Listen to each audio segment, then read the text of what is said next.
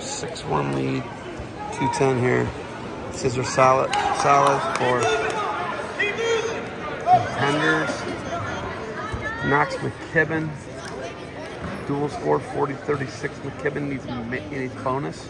Major, at least. That's the criteria. Salas.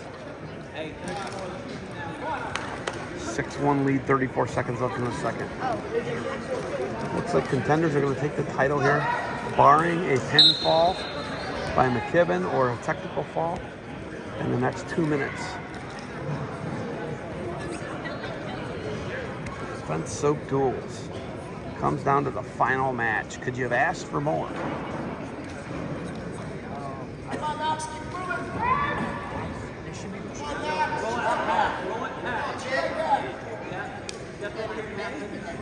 Salas. Uh, a couple national level dual teams. Going to take a 6-1 lead into the third over McKibben of West Shore Salas. We're going to be neutral to start the third. They toe the line. Salas going to be the hero of the day here. Where's McKibben going to find and pull a rabbit out of a hat, throw him to his back and pin him.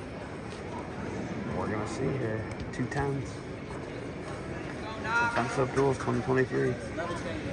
Down to the last match.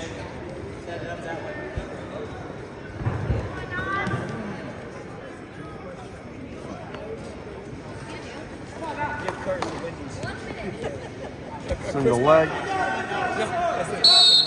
Salas, we're off the mat. One minute exactly on the clock remains. 6-1 lead. Kibben's going to have to start going for something big here. Feet to back.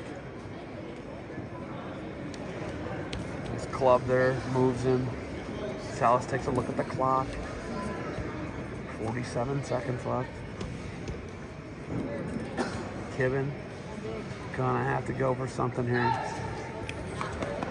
Four point dual lead for contenders, 40 36. Salas runs through him with a double leg, a beautiful double leg. Puts him on his back, looking for the fall. Cesar Salas looking to end with an exclamation point for contenders. And McKibben fighting, 20 seconds left.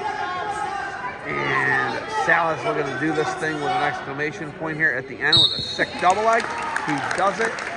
And contenders are going to pick up the title here. Defense Soap Duals 2023 with Caesar Salas pulling through with the win and the pin. There it is.